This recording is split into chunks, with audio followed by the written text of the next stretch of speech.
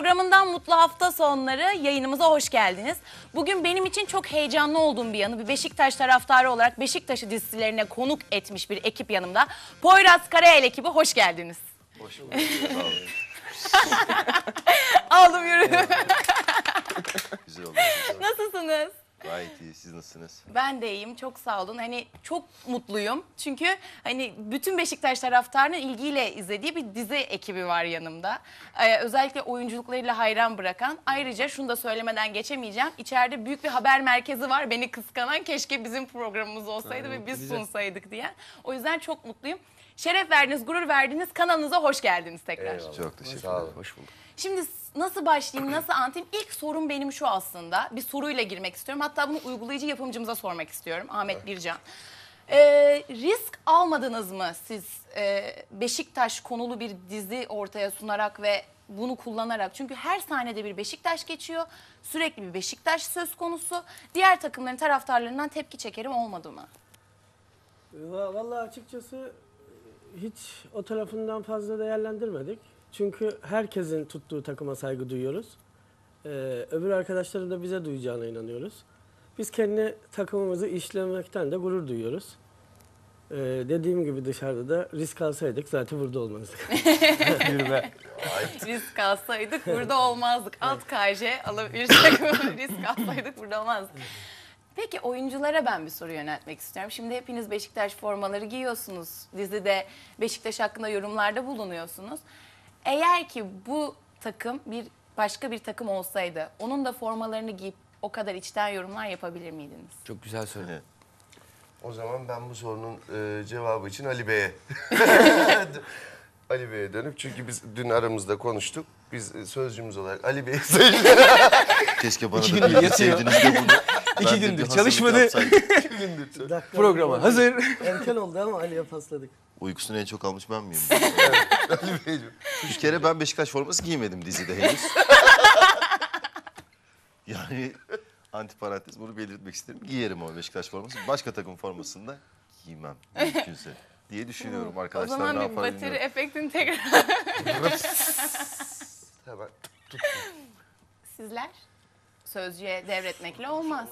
Şimdi ileriki projeleri düşünerek de konuşmak lazım. Yani ilerikisi gerisini bilmiyorum da ben yani Giyer misin? giyerim ama bu kadar güzel giymem. Üstümde güzel durmaz. Giyerim yoksa yani de tabii ne olacak? Çünkü başka bir karakteri oynuyorsun yani.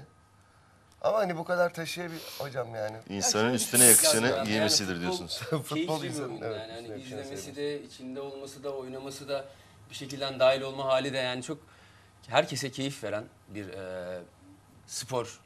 Yani takımdaşlık duygusunu bir tarafa bırakıp e, aslında hikayenin anlattığı şeyi düşünüp hani başka bir takımın bence forması da giyilebilir. Niye giyilmesin ki yani? Ama tabii Ben Beşiktaş'ın kendi olmasından fikrimi çok söyledim bilmiyorum. mutluyuz yani. Hani Peki soruyu ben çeşitlendireyim. Hadi. Buyurun. Beşiktaş olmasa hangi takımın formasını giymek istersiniz Görkem Bey? Altay. Siyah beyaz. yani düz bir Siyah spor beyaz. olabilir. Rize Spor giyerim. Ben de giyerim. memleketten çok yedik gittik falan da şey olur ya. Roma olur. Roma'yı giyer, ben Giyerim. de giyerim Roma'yı. Roma'yı giyerim. FC Roma. Adana Demirspor Olur.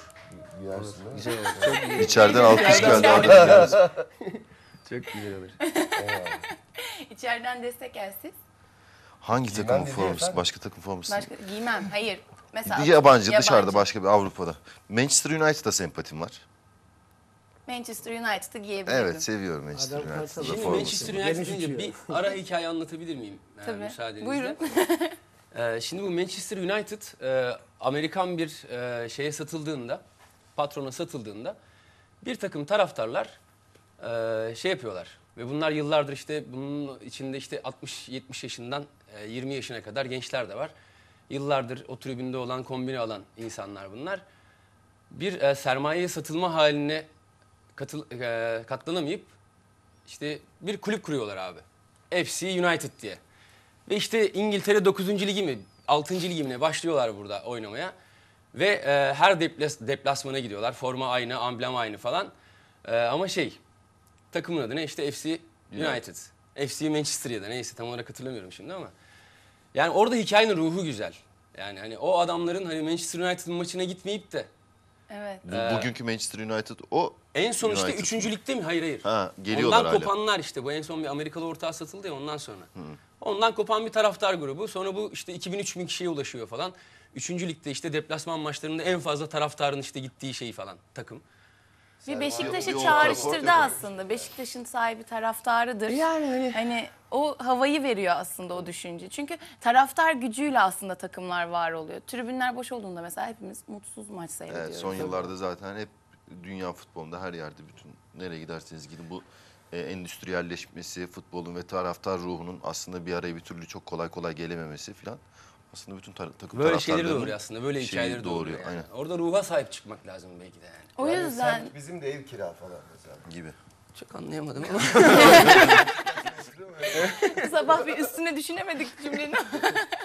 Hayır yani o yüzden ben yine çağrıda bulunmak istiyorum.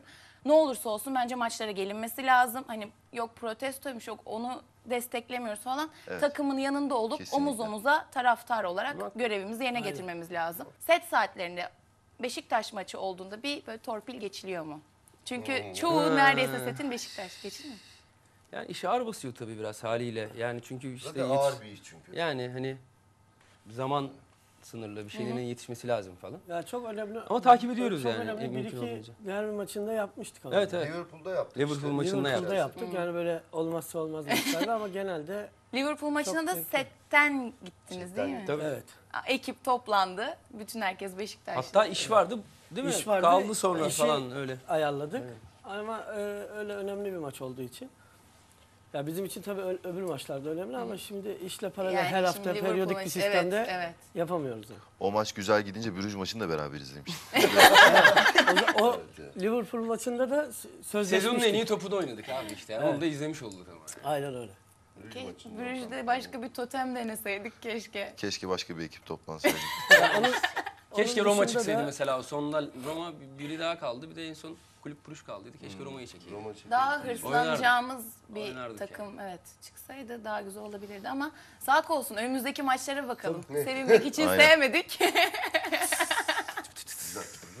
Oldu. evet evet tam uyuyor yalnız. Tabii tabii ben tuş girerim. ya, Efekt varsa yerde. bir stüdyoda efekt de Rejiden rica ediyorum. Diziyi konuşalım biraz. Bir mafya dizisi, komedi mafya. Mafya olduğunuz halde çok seviliyorsunuz. Bunu başarmak için bir çaba sarf ettiniz mi yoksa kendiliğinden mi oldu? Şimdi bunun cevabını ben verebilirim. Mafyanın Bu bir sahibi. mafya dizisi değil, Değil. aslında. Yani sadece mafya. aslında mafya dizisi Çok değil. şey barındırıyor içinde. Çünkü zaten e, Bahri Umman bir mafya babası değil. Bir kabadayı. Yani. O yüzden bir delikanlı dizisi diyebiliriz ama öyle mafya filan o işler bize yani mafya sevilecek bir şey değil çünkü açıkçası. Yani genel anlamda da bir dizi piyasasına hep Aldırmasınlar çıkarken. Aldırmasınlar ben. Bence bu konuyu aldırmasınlar çünkü Görkemciğim. O yüzden de bir mafya dizisi değil.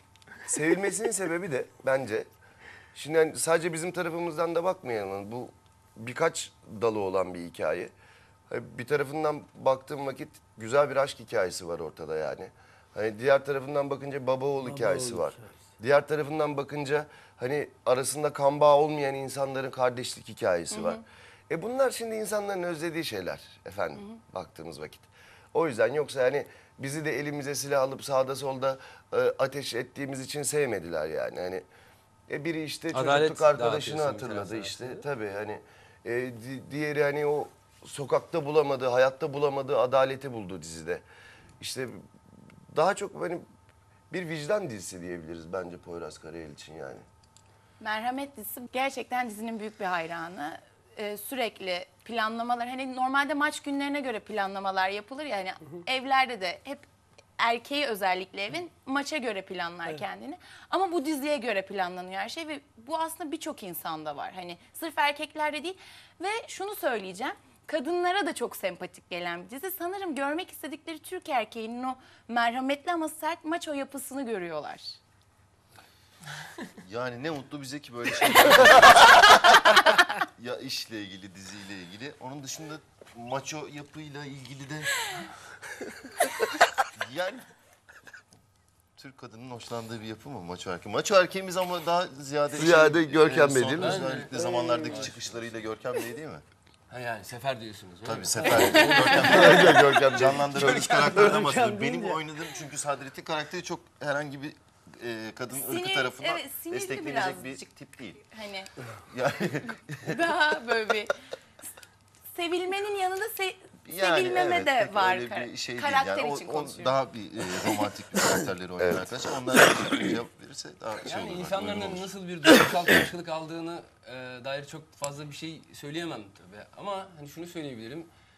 Çok e, böyle farklı meslek grubundan, farklı işte yaş skalasından, e, farklı insanların izlediği bir iş yani. Benim de ilk defa başıma gelen bir şey. Hani Değil mi? hani başka işler de Evet, yaptık aynen. ama bunda Bu kadar- enteresan bir şey var yani. Hani hem yaş skalası hem işte yaptığı yani iş sosyokültürel yani yapısı falan insanların çok Yelpazesi farklı geniş yani. yani. Çok çok Bir de çok geniş. samimi geliyor O da işte insanların başta söylediğin yaptığı şeye geliyor yorumlar. aslında yani. Bir dolu hikaye anlatıyoruz. Dizide bir dolu hikaye var ve bir sürü çatışma var. Mesela avukat bir kadının sizinle olan şimdi Hmm. bu dizdeki karakterinizle o sizinle olan Ee, şey Yalnız ben böyle şeylerin konuşulmasından pek hoşlanmam falan deyip değil mi? Sefere bağlarmışım burada. Yalnız sunucu hanım. aman aman aman. Ee, ve o bağlantı kurulmuş. Şimdi kız isteme sahnesini izledim. Normalde bizim kızımızı mimarlar şeyler istedi, vermedik. Bir yayla çorbası yapabiliyor musunuz? Hani- Yoğurt. Ya, yoğurt çorbası. Hani çok güzel bir bağlantı kurulmuş ve hayatın içindeki bu küçük olaylarla çok güzel dalga geçilmiş. Buna siz neler söylemek istersiniz? Uygulayıcı yapımcısı, çorbası patron olarak. Güzel. Vallahi onun kıvamını bulamazsanız. Salça salça. yani. içine- ya Salça olmaz yoğurt çorbası. Olmaz. bu diziyle ilgili Pek çok şey öğretiyoruz. Ee, söyledikleriniz her şey için gerçekten çok teşekkür ederiz. Şimdi hep arkadaşlarıma da söylediğim gibi yani gerçekten çok özenerek ve çok emek vererek bir şeyler yapıyoruz. Ee, burada şimdi bütün rollerin, karakterlerin tabi senaryo gereği, doğası gereği e, öngörülen bir tarafı var ama bunda arkadaşlarımızın gerçekten o rolü köpürtmekte ve o e, şeyi hayata geçirmekte çok büyük emekleri var. En büyük Onun- pay tabii herhalde burada e, Ethem Yani- olsa gerek yani. Tabii ki senaristimizin bu karakterleri yaratırken e, o önem verdiği şeyleri arkadaşlarımızın da kendinden, yüreğinden, gönlünden koyarak o sizin işte böyle düşünmelerinize sebep olmasını sağlaması da çok önemli bence. Kesinlikle. Yani bir şey Bir de hasta ekleyebilirim Beşiktaşlı yani buna. Ethem Evet. Yani aslında bizim işte biraz şey gibi, futbol gibi yani. Şöyle ki, şimdi bir kere takım arkadaşına güvenmen lazım. Yani Aynen. biz mesela hani Ethem'in yazdığı şeylere güveniyoruz. Çağrı'nın çektiği şeylere güveniyoruz. İşte Hayri Bey'in, Ahmet abinin e, arka ya bizim arkamızda durduğunu biliyoruz. Onlar da geri kalan oyuncu tayfasına hani e, çok fazla hani tesadüf eden bir şey değildir. Bu kadar oynama alanı bırakılmaz oyuncuya yani genelde. Hani Bir de abi senarist böyle yani. tabii senarist şey yapar hani böyle benim lafım değişmeyecek. İşte yönetmenler burası yani bizde herkes birbirine bir e, Güzel oynama ve çalışma alanı bırakıyor. Kendinizden de bir şeyler kattığınız için aslında E tabii. doğallık ortaya Yani çıkmış oluyor. o yüzden de şöyle bir şey oluyor. Yani e, biz iyi paslaşıyoruz. Ya bizim derdimiz aslında gol atmak değil. Sen şimdi topunu güzel oynadığın zaman zaten yeniyorsun ya öyle ya da böyle. E biz de işte topu güzel oynamaya çalışıyoruz yani hani. Yenmesen de diyorsun. Yenmesen de en azından hani rolle güzel futbol yani. Evet. kimyası tutmadı mı tutmaz zaten. Yani burada demin anlatmak istediğim e, oynadıkları rolle arkadaşların kimyaları çok iyi tuttu yani. Evet çok Öyle bir güzel bir, buluşma kas oldu. Mesela seçimi yapılmış aslında. O da zaman. bizim şansımız diyelim. Çünkü bazen öngördüğün karakter o role bu kadar kimya tutturamayabiliyor yani. Tabii. O zaman işte bu şey? Birbirinden yetenekli Tabii, tabii. oyuncularımızın kimyaları tuttu. Evet. Yani alternatif mesela genelde bu konuşulduğu zaman olur. Atıyorum işte hani şu rolü kim bu oynamasa kim oynardı? Oraya 4-5 tane isim çıkar yani böyle bir yarım saatlik sohbet Aynen içinde. öyle. Bizde hiçbir oyuncu arkadaşımızın yerine biz kendi aramızda başkasını koyamıyoruz yani. Olmuyor, oturtamıyorsunuz. Yani Ki zaten artık sizinle benimsenmiş karakter o kadar benimsemiş ki halk başka birini düşünemiyor bence. Hani bir Zülfikar gerçeği, bir Sefer gerçeği var yani. Herkes bunu konuşuyor ve üstüne koyamaz. Kimsenin de hani bazı dizilerde şey olur. e, oyuncu diziden ayrılır yerine biri girer. Muhtemelen çok büyük bir yadırganma süreci olur. Hiçbiriniz bir yere kaybolmayın o yüzden. İnşallah. E, demin söylediniz ama ben onu çok merak ediyorum. Şimdi mesela e, dizide çok Beşiktaş muhabbeti dönüyor. İşte Oğuzhan'ın gelişiminden bahsediliyor, Kuarezma konuşuluyor. Bunlar konuşulurken gündeme dair olaylarda ufak değişiklikler yapıyor musunuz senaryoda ve kendi yorumlarınızı katıyor musunuz? E, şey esnasında, çekim esnasında. oluyor aslında değil mi? Yani hani bir de günceli de aslında takip ediyor. Ethem de hani sıkı Beşiktaşlı falan. Hani genelde o sahneleri yazarken onun söylediği şeyler de çok aslında bizim Tabii. deyip değiştirmediğimiz şeyler oluyor değil mi? Bir de yani zaten senaryo şey gerçek zamanla gelen bir Evet, şey evet. olduğu için bize hani öyle ya, üç ay öncesinden gelmediği için Ethem de zaten günceli yazıyor. Ama mesela işte e, bir gün önce atılmış bir golü yani mesela Sefer senaryoda yazmazken hani Sema işte Zülfikar'a bir laf sokunca atıyorum Souza vurdu gol oldu diyebiliyor mesela yani. o çünkü yani bir gün önce atmış zaten Souza golü onları da hani o noktada rahatız biraz. Evet, evet, evet. İşte Yani- Hasan Yağmur Beşiktaşlı son en son Doğuştan Beşiktaşlımız o. fanatiğimiz bile oldu artık. Tabii doğuştan Hasan Yağmur. Hasan Yağmur ya. Yağmur. Mantıklı nereye? Oğlum Beşiktaş ya. Tabii canım en son Musa abi dedi ya Beşiktaş'ta mısın sen falan. Vallahi doğru. Gayrimeşru çocuğumuz. Bu arada ben bir Beşiktaş görüntülerini görelim dizide kullanılan. bir herkes bir daha bir izlesin. Hafızalarımızda canlansın. Bir o görüntüleri alalım. Hazırsa görüntüler. Beyler gol geliyor. Olcan hadi. Hadi oğlum. Hadi bak in kanada in kurban olayım. İyi orta gol. Dem babaya gelirse yazar bunu. Bak yap ortanı yap hadi. Gol! Gol ulan be! Gol ulan be! Gol! Gol ulan! Ulan gol ulan! Gol! Gol ulan be! Beyler sakin. Offside. Lan neresi offside ya? Senin ben sülaleni Neresi offside lan bunun? Ne girsin lan o bayrak? Avukat hanım. Offside işte. Topun ayaktan çıktığı ana baksana. Bal gibi offside. Hakeme niye kızıyorsun? Biz de çocuklarla işte onu tartışıyorduk offside mi değil mi? Niye de yani? Bu adamların karısı kızı, çoluğu çocuğu yok mu küfrediyorsun? Ay Doğru söylüyorsunuz avukat hanım. Kendisi birazcık düşüncesiz bir kişi olduğu için. Hayırdır? baba çıkıyor. E, tam Poyraz. Onun kayınpederine gidiyor zaten. Poyraz gelmişsin. Ya arkadaş adam şoför diye girdi. Ondan rahatı yok maşallah ya. Yaşa. Hadi biriniz gelin de babayı bekletmeyin. Tamam. Hadi. Aga. Ben bu alemde offside bilen kadını tek geçerim. Gel gel. Bir gel bir gel bir gel. Hadi bekletme yenge hadi.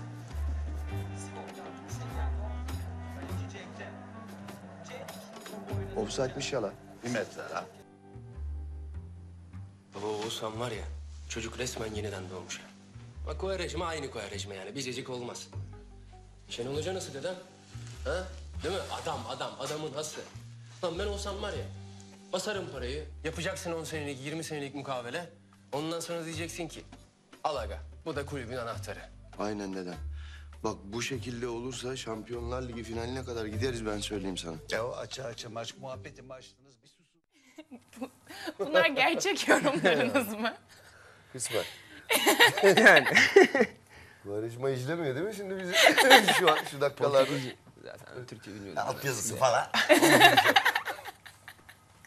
Mutlaka biri söylemiştir. Çünkü bütün futbolcularımız da diziyi takip ediyor. Mutlaka biri ispiyonlamıştır. Biz de motive ediyoruz canım yani, değil mi? Oynasın istiyoruz. Cem tabii ki oynasın ya iyi topçu. Ya bu arada çok kısa konuyla hiç alakası yok. Ben hakikaten bir arkadaşıma söyleyecektim bugün çıkacağımı. Unuttum söyleyemedim izliyormuş zaten İlker'cim İlker Yanardağ eyvallah kusura bakma. Atlamışız yani onu. Mesaj yollamış. Bizim ülke. Ne ya ayıp değil mi? Çıkıyordunuz niye haber vermiyorsunuz diye. Ama Verdik şu anda da verdik ya. gel daha- gelelim evet, yayında da verebiliriz Ki gel de. gelelim izliyormuş. Pakistan. Zaten ki yakalamış. Pakistan bu. Ekranlarındaki başındaki izleyenlerimize teşekkür ederiz bizi izledikleri için. Beşiktaşlı arkadaşlarımızdır. Tabii tabii abi, büyük Beşiktaşlı o da yani. yani. Takipçisi. Beşiktaş'ın Beşiktaşların zaten o sıkısı olmuyor yani. Beşiktaş'ta zaten gönülden baş koymuş oluyor. Yan, yanarken bile Şampiyonlar Ligi görüyor. Biz zaten onu konuşuyoruz bazen de. Ee, bizi hani Beşiktaş'ın o anki durumuyla değerlendirmek istiyorlar. Biz oysa yani buna ayrı bir gönül vermiş. Mesela biz dededen, doğuştan gerçekten yani. Hani bizim için o an yok başarılı gidiyor takım yok gitmiyor yok o ara iniş yaptı çünkü biz bu tarafında değiliz bu işin yani. Ha biz Beşiktaşlı olarak bu işe ayrı bir gönül vermişik. Bizim yaşam biçimimiz haline gelmiş. Ee, ama şimdi şey değerlendiriyorlar ya böyle işte durumuyla taraftarı. İşte biz onun o tarafta değiliz yani. O tarafta olmayanlar gerçek Beşiktaş zaten. Durumu önemli değil ki yani ne olursa olsun. Şimdi biz Liverpool maçında belki ümitlerimiz vardı evet sonrasında bir kupa kaldırmak. Ama hani o an bile bizi o kadar mutlu etmeye Evet. yetti ki biz kupayı kaldırmış kadar olduk. ve biz işte o kadar Liverpool'u eleyip de kulüp arkadaş elenince de üzülüyor insan ya. O kadar da kaldırmış kadar olduksa bir de Denizi geçleri de bul. Yani saçma sapan. 2008'den mi ya? 7 yılda bir ke yani bu sene, Bu bir sene umudum o Şenol Hoca'ya güveniyoruz ya. Şenol Evet, Hoca. evet. Evet. Diziden de sinyali yolluyorsunuz zaten. Güveniyoruz Şenol Hocam size güvenen bir ekip var burada. Hocam sağ ol. Tüm sanat camiası arkanızda hocam. Senin Bu arada- çarşılılığın yeter hoca. Ee, siz hayat tarzınız dediniz. Ben dövmenizi görebilir miyim acaba? Tabii ki. Hangisi? Tabii ki kartal dövmesini. Buyurun. Bahsi geçiyor. İçeride deminden beri konuşuluyor. Evet, onu Hangi arka- kameradaysanız ekip arkadaşlarımı temsilen size bunu göster. Evet. Güzel. Bakar mısınız ya? Kızılderili kartalama galiba. Evet, bunun tasarımı Ama da zaten bana aittir. Kızılderili- yani. Öyle mi? En büyük özelliğini de söyleyelim. Peki bir şey soracağım. İki tüy, iki yıldızımızı mı temsil ediyor? Hayır. Vallahi onu, onu hiç çalışmadığım yerden sordun Artık ama temsil artık edebilir. edebilir. Evet, herkes soruyordu. 15. şampiyonluktan sonra bir tüy daha yaptırırsın. Ne demek? Sürekli Evet. getirirsin sen. Tüy- tüy Sözümüz temizliği. olsun biz yaptırıyoruz. Aynen. Aynen burada yapalım hatta. sabah programı ama pazar sabahı onda olsun. Dövmeci abi tam uyanmamış. Evet evet küçük isyanların farkındayız programın sabah olmasına dair. Ama hafta sonu insanlar kahvaltısını ederken bizi takip Ne kadar ediyor. güzel. Her zaman akşam izlenmek olmaz biraz da sabah izlenin değil mi? Ki tekrarları falan sabah neyse. O konu çok ayrı. Ee, bir kısa reklam arası rica edeceğim sizden. Sonra kaldığımız yerden devam edelim.